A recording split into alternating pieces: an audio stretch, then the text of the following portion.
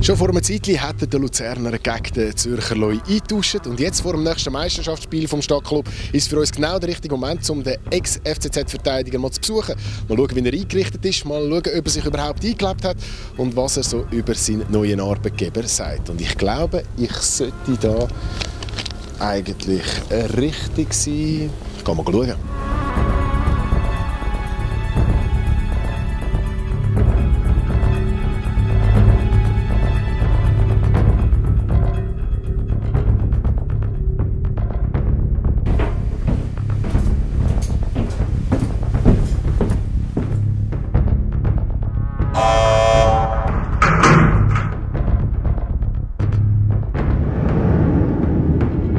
Fühle mich extrem wohl hier in Luzern. Ich bin super aufgenommen worden und äh, wie man sieht, äh, habe ich mich schon sehr schnell integriert in die Mannschaft.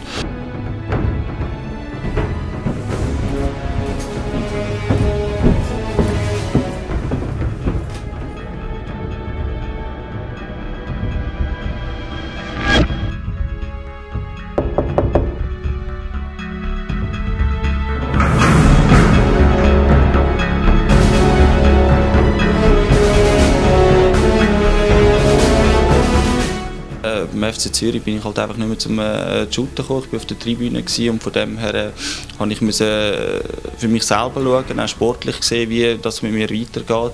Weil äh, ich bin noch jung, ich bin 6, 27 war dazu mal und äh, dann habe ich gesagt, ich muss vorwärts schauen und der FC Luzern ist dann äh, eine gute Adresse für mich und darum habe ich die Chance gepackt.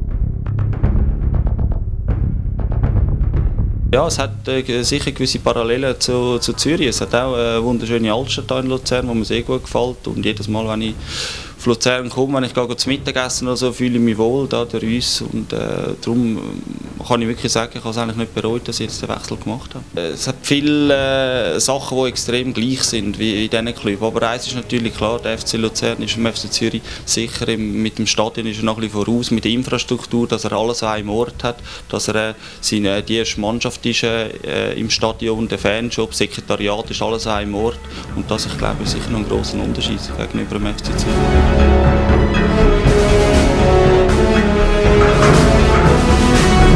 Wir werden natürlich jetzt am äh, Sonntag, ist klar, wenn wir natürlich mit dem Sieg gegen den FC Zürich, meinen ehemaligen Verein, haben wir natürlich eine super Woche, die wir bis jetzt gestartet haben, wenn wir so abschließen.